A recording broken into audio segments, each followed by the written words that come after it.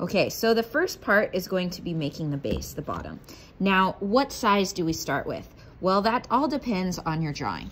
So if you take, or your, your vase template. So if you take your template and you can line it up here and you can imagine how wide it needs to be here, you can see that it probably needs to be about, mm, about this wide, okay? So that's about three and a half, four inches.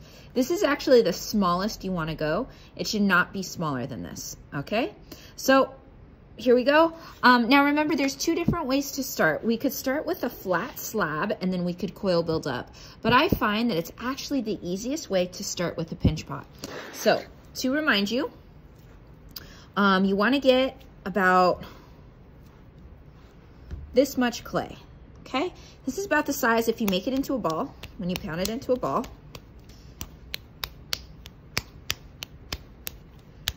It's like the size of an apple. Okay, so you wanna start off with an apple size amount of clay. Now to remind you, this is how we make the pin, pinch pot. You in, insert your thumb there, and you're gonna press with your fingers at the bottom and slowly go around. And you're gonna go around, round, round, round, round. Now, when I got this, um, pinched out enough, I'm gonna place it on its bottom and we're gonna actually wanna make a flat bottom for this, okay? And then I'm gonna take my fingers, I'm gonna spread it out and I'm gonna pinch it up, okay? Now, when you're making the base for this, you do want a flat bottom because if it's round, then it won't be stable when it's sitting, your vase won't be stable when it's sitting on the table. So you really need to make sure that this bottom is nice and flat and it's sturdy enough so it won't fall down. Now everybody is gonna start like this. No matter what your design is, you're gonna wanna start with this basic shape. Um, and then we can alter it as we go, as you'll see in a moment. Okay. So now I have a good base to start. Now, once you have this, you are going to use this. This is, remember, the ware board with a banding wheel on top. And what's nice about this is that as we work, we're gonna be able to turn this as we go. And uh, it really is a great assistance, assistant to this. Remember, there's actually two different ways, two different ways to attach coils. I'm gonna show you the first one first, um, and then I'll show you the second one uh, afterwards. All right, so the first way to attach a coil. Okay, so now I'm gonna show you the first um, technique to attach a coil. And right now I have just my pinch pot made. and push that to the side. And now I'm gonna make uh, a coil with my hands. Now, to make a coil, I just roll the clay in my hands like this, and then I squeeze it as I turn. And I'm gonna go up here too. Squeeze it as I turn.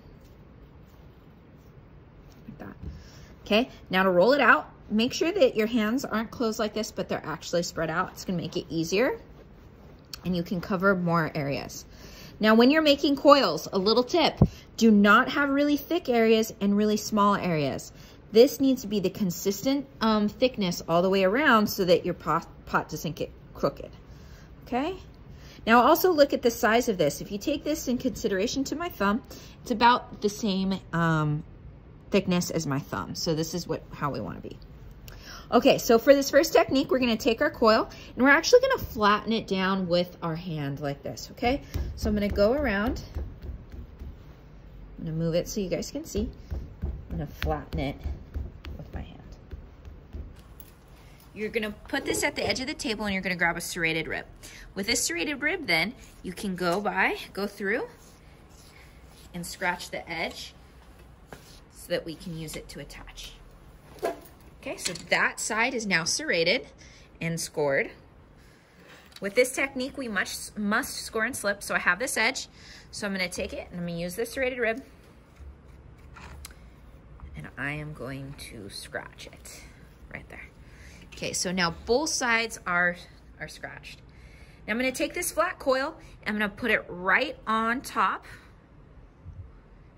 I'm gonna layer it right on top.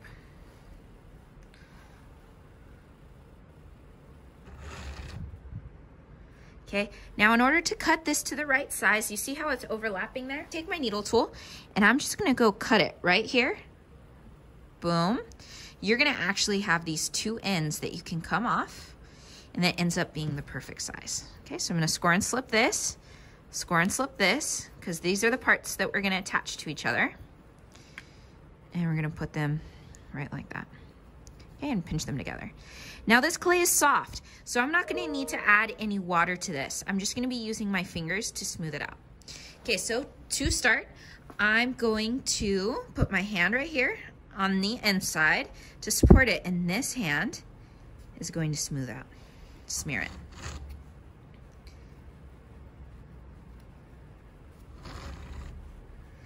So you must do this step. You must do it. If you do not, this coil will totally pop off in the kiln and then your piece will be ruined and you won't get credit for it. Okay, so if I walk up and I see you guys working and you're stacking coil after coil but nothing is smoothed out, that is incorrect. After each coil, you need to make sure that you smooth the inside and outside and do not leave any gaps. It needs to be completely smeared in order for it not to break. Okay? I'm a stickler on this. You need to go slow and you need to do this right. Do not rush this process. Okay, so here we go. I got another coil attached. Now I can start worrying about my shape. And that's what I'm gonna do next.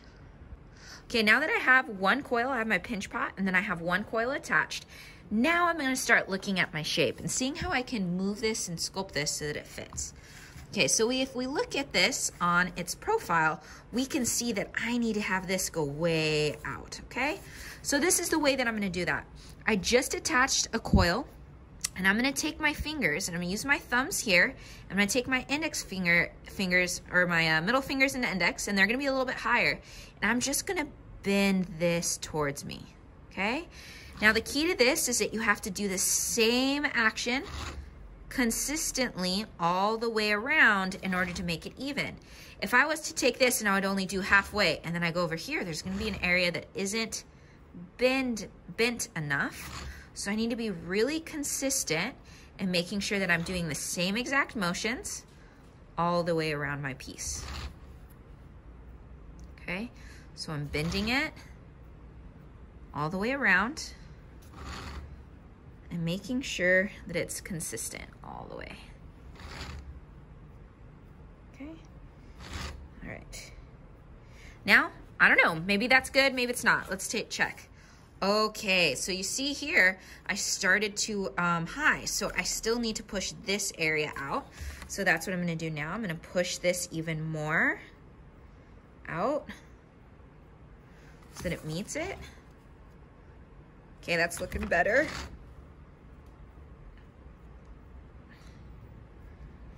So, I can also take my finger because you see this area right here, it kind of goes like that. So I'm gonna take my finger and just kind of get that going on, okay? And then I'm gonna push this so it goes out some more.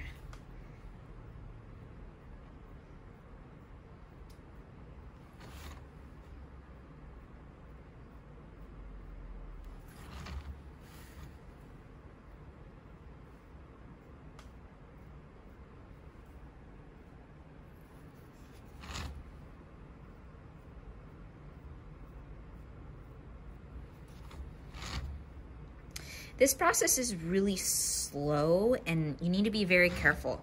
Um, because we're working with a bigger piece, um, things can collapse a little bit easier and different things can go wrong. So you really wanna make sure that you're taking your time while you're building this.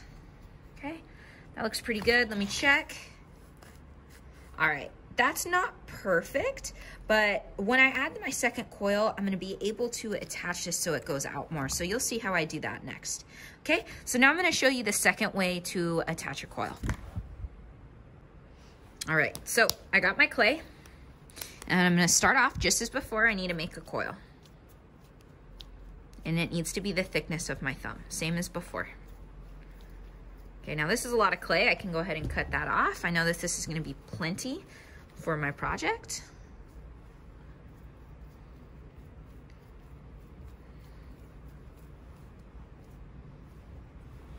All right, so this is still not uh, thin enough, so I'm gonna take my hands with my fingers spread, I'm gonna roll it out and see how it's consistent. There's some difference in the thickness, but it's minor. Okay, so for the second way to attach your coil, you're just gonna take your coil. You do not need to flatten it out like the previous thing.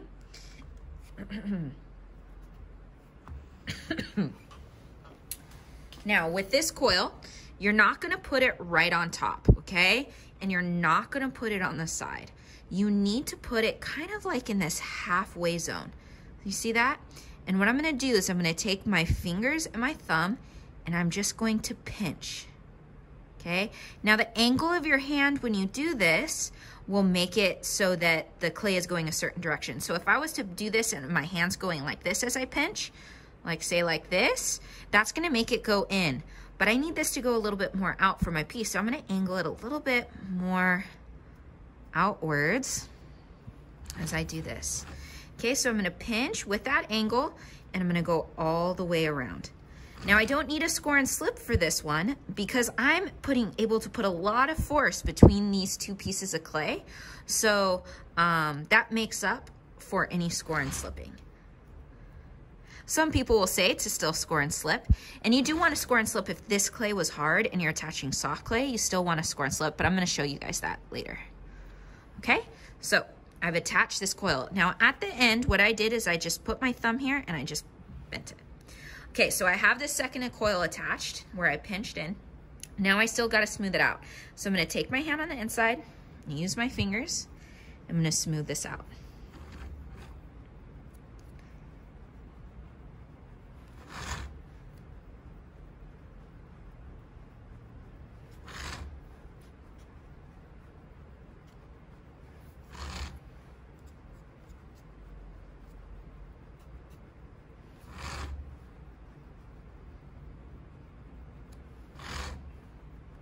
Okay, now on the inside, hand here, on the outside, taking my thumb, smearing it as I go.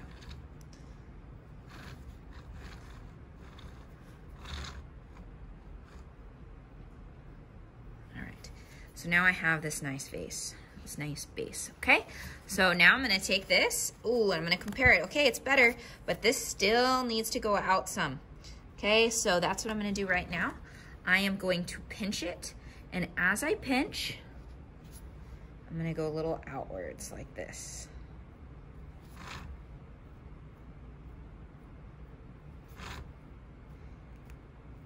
Okay, and to pinch, I'm gonna take my fingers and it's almost like forming a V and they're gonna be pinching as I go up. Now this is gonna take some practice.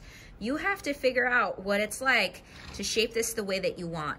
I take my hands sometimes and I do a little angle up or in, and I'm trying to actually create a rounded, so you'll notice that I pinch out and then I just slightly go in towards the top just so that I can get that curve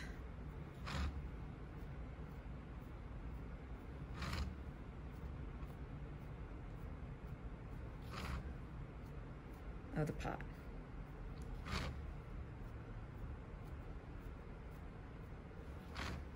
All right, almost all the way around. I think I'm all right around now. Ooh, okay, so you see, this pot is actually a little bit crooked. Let me give you a different view. All right, here we go. So you see that? I have a little crooked pot here. So if I look at this, I need this to go out farther here and I need this to go in okay? You wanna look at that profile. So what I'm gonna do is I'm actually gonna take my hand and I'm gonna push it out a little bit on this side.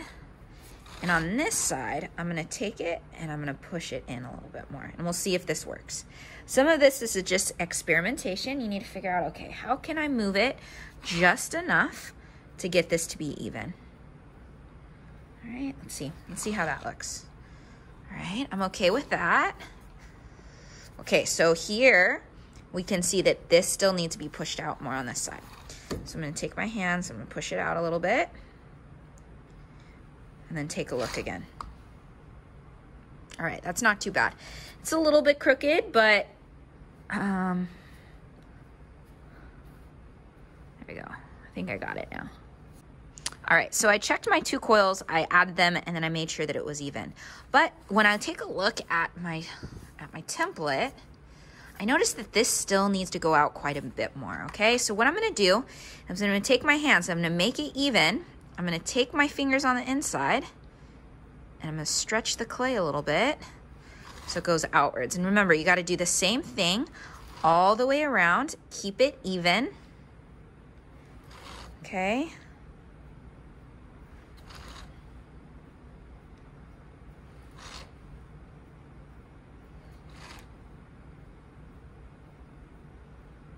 Stretching the clay.